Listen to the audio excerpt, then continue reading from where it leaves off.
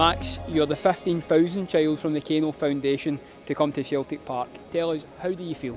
It feels brilliant. Um, I'm very excited for it. You met some of the players today, including the captain, Callum McGregor. How, how was that for you?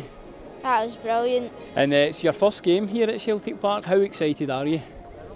I'm very excited. Um, I've never been inside the stadium. I've been outside it a lot of times though. So yeah, I'm really excited.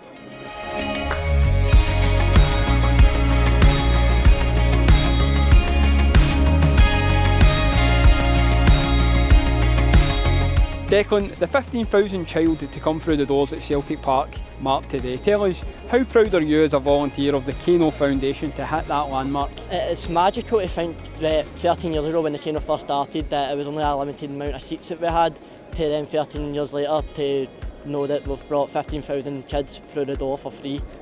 It's, it's unbelievable. Why is the Kano Foundation's presence at Celtic Park so important?